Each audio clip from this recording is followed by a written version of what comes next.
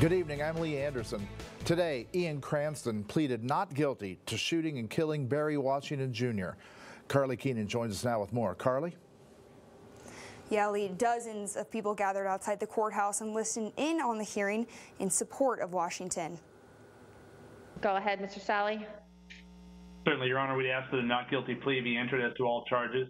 Almost two months since Barry Washington Jr. was shot and killed in downtown Bend, the man accused, 27 year old Ian Cranston of Bend, pleaded not guilty on Tuesday. Cranston faces charges of second degree murder, first and second degree manslaughter, first degree assault, and two counts of unlawful use of a weapon. Word of a not guilty plea was heard outside the courthouse.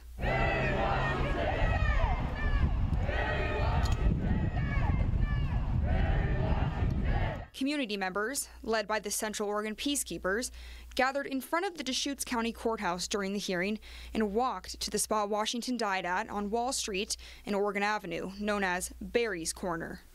While District Attorney John Hummel said he did not have sufficient evidence to seek a bias crime charge against Cranston, community members feel differently. I feel like because he's pleading not guilty, he might be able to get away with it because, again, white man, white lawyers. It's truly um, ridiculous and insane to me that someone who literally shot the gun who killed Barry is even trying to plead not guilty at all.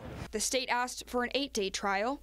The date will be determined on Friday. Boyd and Prather say they worry about the outcome. I don't think it's good, uh, especially following everything with Kyle Rittenhouse. Uh, I would not put it past the lawyer, and I would not put it past Ian and whatever plan they have to try and pull some weird self defense. Washington's mother, Lawanda Robertson, issued a brief statement Tuesday through a Portland attorney. She said, Our family is devastated by Barry's murder. As his mother, I can truly say a piece of me was taken. We are grateful for the outpouring of support from people in Central Oregon and appreciate the memorial maintained for Barry Jr. He was truly loved and will not be forgotten. We're choosing not to make further public statements about what led to Barry's murder until we are given the opportunity to review all the evidence, and until doing so will not affect the criminal justice process. I reached out to Cranston's attorney, but he declined to comment.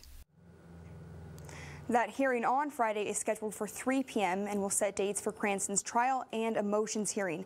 The people who were outside the courthouse today tell me they have every intention of being there again on Friday. Lee?